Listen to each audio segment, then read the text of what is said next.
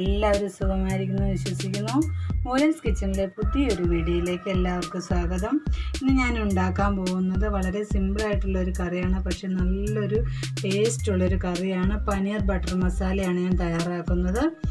അപ്പോൾ എങ്ങനെയാണ് തയ്യാറാക്കുന്നത് നോക്കിയാലോ നമ്മളിപ്പോൾ ഇവിടെ എടുത്ത് വെച്ചിരിക്കുന്നത് ഇരുന്നൂറ് ഗ്രാം പനീറാണ് അപ്പോൾ ആദ്യം തന്നെ ഈ പനീറിൽ അല്പം കാശ്മീരി ചില്ലിയും മഞ്ഞൾപ്പൊടിയും കൂടെ ചേർത്തിട്ട് ഒന്ന് സോക്ക് ചെയ്ത് വെക്കണം ഇപ്പോൾ പിരിമുളക് പൊടി ആദ്യം തന്നെ ആവശ്യത്തിന് ഉപ്പ് മഞ്ഞൾപ്പൊടി ചേർത്ത് നമുക്ക് ഒരു പതിനഞ്ച് മിനിറ്റ് ഇങ്ങനെ വയ്ക്കാം വളരെ ടേസ്റ്റി ആയിട്ടുള്ളൊരു മസാലയാണിത് പനീറും ബട്ടറും കാഷ്യൂനട്ടും എല്ലാം ചേർന്ന് വളരെ റിച്ച് ആയിട്ടുള്ളൊരു കറിയാണ് ഇത് അല്പനേരം ഇങ്ങനെ ഇരിക്കട്ടെ പനീർ ബട്ടർ മസാല തയ്യാറാക്കാൻ വേണ്ടിയിട്ട് ആദ്യം തന്നെ ശേഷം ബട്ടർ അല്പം ഓയിൽ ഞാൻ സൺഫ്ലവർ ഓയിലാണ് ഇവിടെ എടുത്തിരിക്കുന്നത് ഇതിനകത്തേക്ക് ചേർക്കാം പനീർ നമുക്ക് ഇതിനകത്തേക്ക് ചേർത്ത് ഒന്ന് ചെറുതായിട്ടൊന്ന് മുരിച്ചെടുക്കാം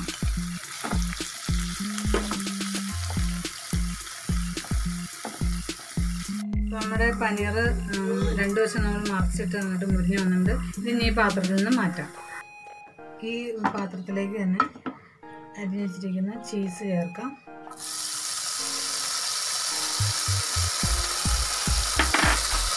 സൺഫ്ലവർ ഓയിൽ കൂടി ചേർക്കാം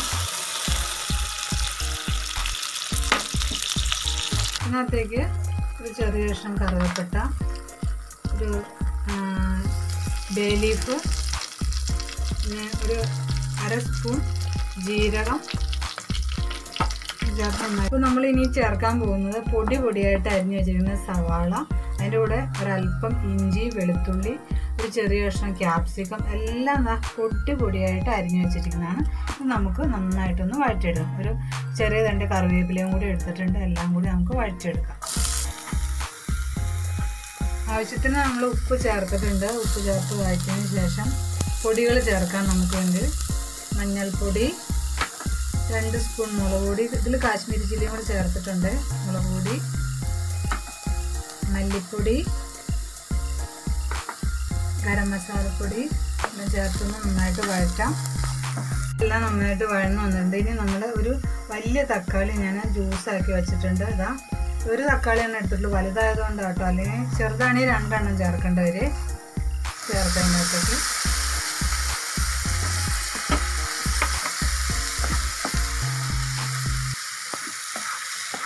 നന്നായിട്ടൊന്ന് ഫ്രൈ കഴിയുമ്പോൾ കുറച്ച് വെള്ളം കൂടി നമുക്ക് ഇതിനകത്ത് ചേർക്കണം സമയത്ത് ഉപ്പ് നോക്കണം കേട്ടോ നമ്മുടെ മസാല നന്നായിട്ട് തിളച്ച് കുറുകി വന്നിട്ടുണ്ട് ഇനി നമുക്ക് ഒരു പത്ത് ക്യാഷിനിട്ട് ഞാൻ അരച്ച് വെച്ചിട്ടുണ്ട് അത് ഇതിനകത്തിട്ട് ചേർക്കാം നമ്മൾ ഉടനെ തന്നെ നമ്മൾ മുരിച്ച് വെച്ചിരിക്കുന്ന പനീർ ഇതിനകത്തേക്ക് ചേർക്കാം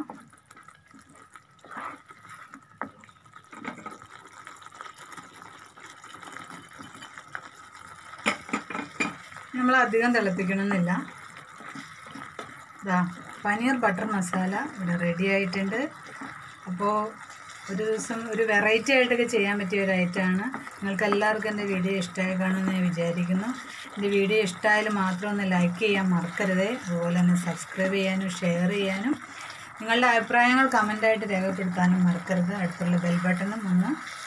പ്രസ് ചെയ്യണേ അപ്പോൾ അതുപോലെ തന്നെ അടുത്തൊരു നല്ലൊരു വീഡിയോയുമായി വീണ്ടും കണ്ടുമുട്ടാം okay bye bye take care paneer butter masala ഇവിടെ റെഡി ആയിട്ടുണ്ട് നിങ്ങളെല്ലാവരും ഒന്ന് ട്രൈ ചെയ്യണം അപ്പോൾ ലാസ്റ്റ് നമുക്ക് ഒരല്പം മല്ലിയിലയും കൂടെ ഇട്ട് ഒന്ന് ഗാർണിഷ് ചെയ്തെടുക്കാം